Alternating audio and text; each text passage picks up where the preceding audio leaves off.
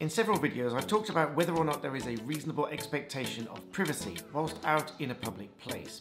Because the default position in a public place is that there are no general restrictions on taking photographs or filming or vlogging. But each time I say this, I do air the warning that each case turns on its own facts, and there may well be some situations that give rise to a reasonable expectation of privacy. Now whilst this might not transcend into a full-blown right to privacy whilst out in a public place, it certainly blurs the lines when it comes to considering Article 8 of the European Convention on Human Rights, which is the right to respect for private and family life. And to that end, I have mentioned a number of times that because of a decision of the Court of Appeal, it does depend on all of the circumstances as to whether or not there is a reasonable expectation of privacy and whether those rights are infringed. And that's what I'm talking about today. But first of all, if you're new to me, I'm a barrister who helps you understand law and I'm on a mission to help at least a million people. So please hit the subscribe button and share this video or any of my other videos with someone that you might think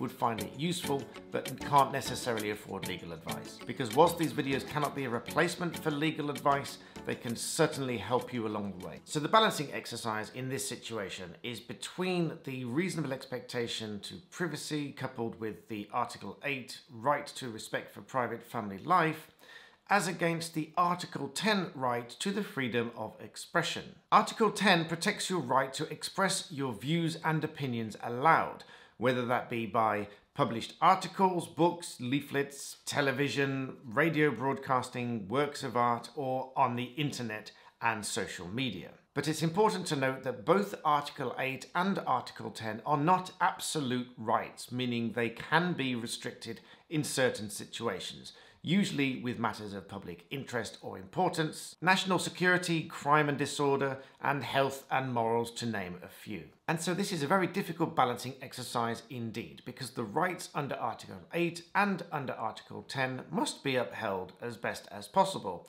striking that fair balance so as not to interfere with the rights under each article. For example, in the case of White and Sweden, which was a complaint filed at the European Court of Human Rights. This was where press articles alleged criminal activity, namely the killing of the Swedish Prime Minister in 1986. And of course, the articles included the conflicting views of the person in question. But clearly, because these allegations were a matter of national public interest, the court dismissed the complaint. But coming back to England and Wales, the Court of Appeal case that I often refer to was Weller and Others and Associated Newspapers. This case involved the family of a well-known British musician, including his children.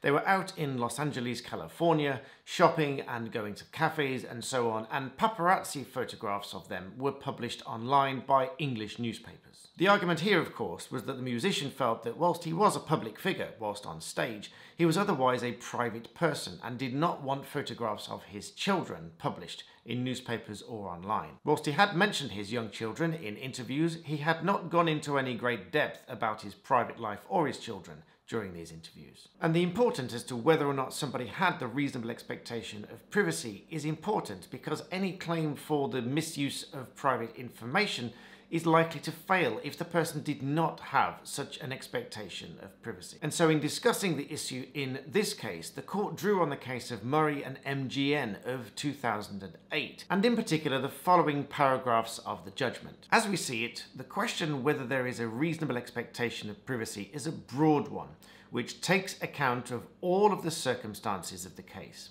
They include the attributes of the claimant, the nature of the activity in which the claimant was engaged, the place at which it was happening, the nature and purpose of the intrusion, the absence of consent and whether it was known or could have been inferred, the effect on the claimant, and the circumstances in which and the purposes for which the information came into the hands of the publisher. And this approach was endorsed by the Supreme Court in 2015. But the court went on. The taking of photographs in a public street must be taken to be one of the ordinary incidents of living in a free community. It is not, however, in dispute that a person's privacy rights may be infringed even in relation to things done in a public place. In Campbell, for example, photographs were taken of the claimant as she was in the street outside the clinic where she had been receiving therapy.